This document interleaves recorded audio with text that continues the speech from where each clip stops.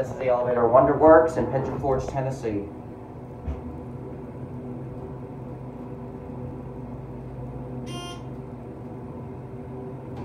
Here at two.